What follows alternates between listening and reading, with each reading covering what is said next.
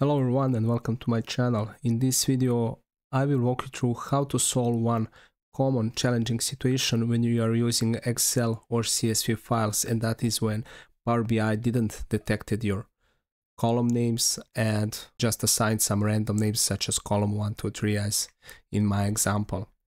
And how we will solve this problem, it is quite easy. We need to go to Power Query and to go to Power Query select transform data button and here you can see our table without column names. And usually those column names are below in first row. So what we're going to do is we just need to navigate in this top left corner table this one and click on this drop down menu.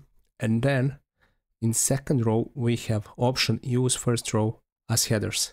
And we will select this option and then Power Query will automatically move values from first row to header and we will get correct column names. Thank you for watching this video. I hope that this video helped you to solve this challenging situation. If that's the case, subscribe for more Power BI tips.